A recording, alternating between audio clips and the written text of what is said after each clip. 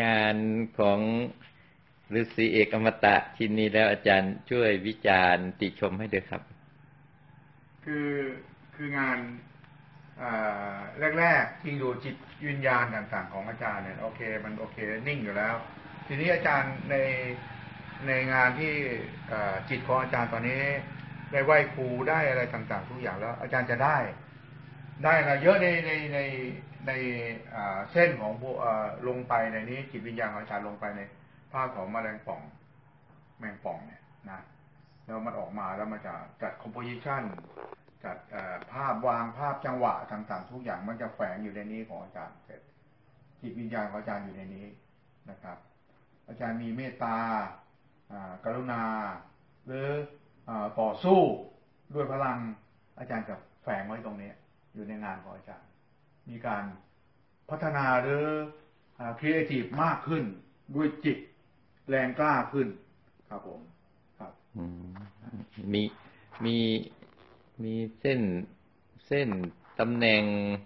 หรือการสวัสดิ์ผู้กันหรืออะไรเพิ่มเติมไหมจะต้องแก้ไขยังไงในรูปนี้มันมันไม่มีมันจะรวมตัว โดยอาจารย์รู้เองเขาเรียกว่าอภิปรัชญาตัวเองทำอะไรตัวเองรู้เอง แล้วก็แก้ไขเอง อันนี้เป็นหัวใจสำคัญนะครับ ของพุทธศาสนาเหมือนกันนะครับ ที่ผมศึกษาจากครูบาอาจารย์มา แล้วฟังจากครูบาอาจารย์มานะครับ เพราะจังหวะจังหวะทาม์สเปซหรือว่าช่องว่างต่างจังหวะต่างๆ ทุกอย่างเนี่ยมันลงตัว มันเป็นโคโพซิชันเป็นพลังอันหนึ่ง ที่เราเขียนออกมา ที่เราบันทึกจากจิตวิญญาณจากจิตใจของเรา จากจิตของเราที่มุ่งมั่นนะครับ มันจะแรงกล้าขึ้นไปเรื่อยๆ อาจารย์ได้จับผูกการอาจารย์จะนิ่งมาก เสียงระเบิดลง เสียงคนเรียก อาจารย์จะไม่ได้ยินต่อไปนี้ ถ้านิ่งๆจริงๆครับผม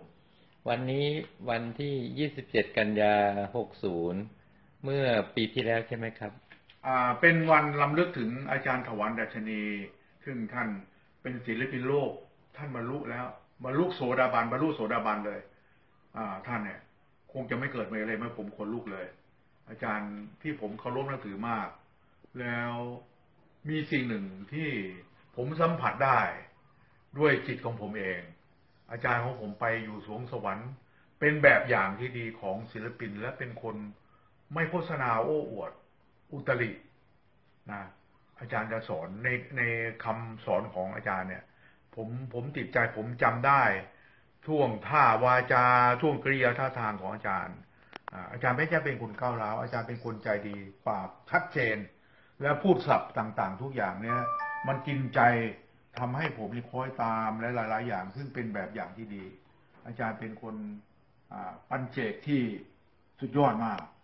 นะครับ ผมยังหยิบจิตใจวิญญาณของผมเนี่ยอาจารย์ขอให้อาจารย์ไปสู่สวงสวรรค์ชั้นวิมานที่อาจารย์เคยปรารถนาเคยเคย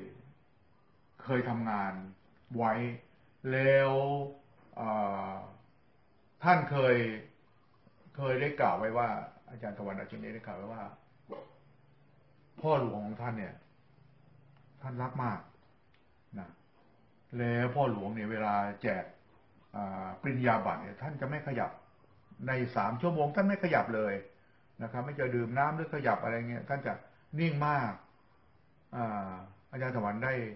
ได้พูดออกมาคำหนึ่งว่า ท่านท่านสมบูรณ์ที่สุดที่เป็นพระมหากษัตริย์ มหามหากษัตริย์ครับผมครับท่านท่านวันนี้เราก็เลยมาฉลองว่าลำลึกถึงท่านศิลปินโลกแห่งศิลปินแห่งโลก ท่านสวรรค์ดัชนีด้วยการเมื่อท่านเสียเมื่อปี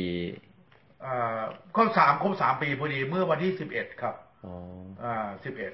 สิบเอ็ดกันยาสิบเอ็ดกันยาครับผมได้ไปไป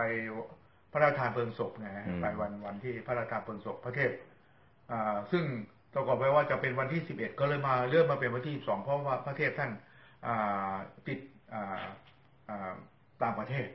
ท่านเสด็จไปต่างประเทศกลับไม่ทันนั้นก็กลายเป็นเป็นเขียนเขียนในเดือนในเดือนที่ศิลปินโลกเสียชีวิตคือท่านสวรรค์ดัชนีนะครับแล้ว ก็อันนี้ก็ผมนี่มันประเภทหางแถวแล้วนะ ไม่หรอกอาจารย์ก็มาหัดใหม่ก็คงได้